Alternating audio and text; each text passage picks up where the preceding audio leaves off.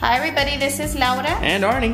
With Krazy Kool Cakes and we're coming to you with another awesome cake decorating tip or tutorial.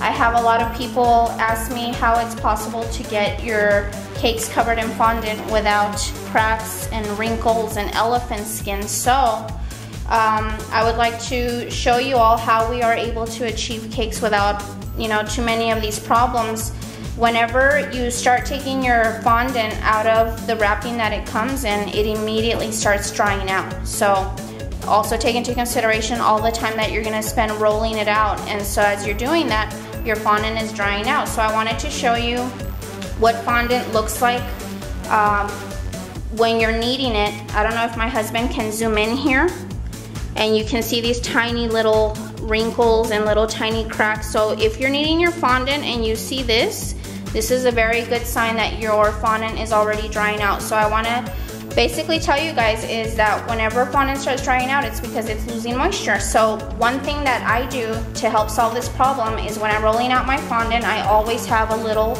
bottle of water.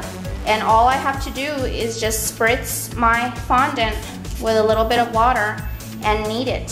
So when you want to start rolling out your fondant, be sure that at this point it's very pliable very, very, um, what's the word? You can actually feel the moisture in the fondant, okay?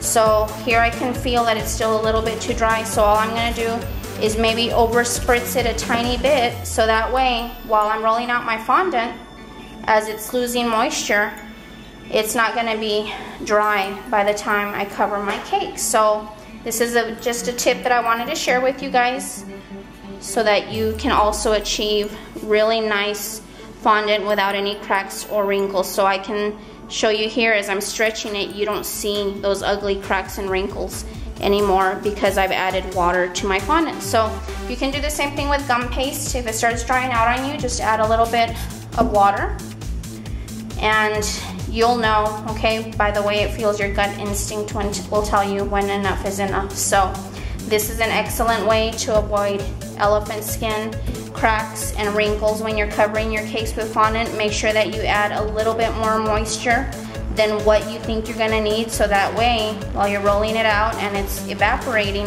it's still gonna be nice and moist by the time you cover your cake. So I hope this helps guys and you can buy these little bottles anywhere very, very inexpensively. And thanks for uh, being a subscriber. And please join us on Facebook and follow us on Instagram. God bless you all. Take care. Bye bye. Bye bye, guys.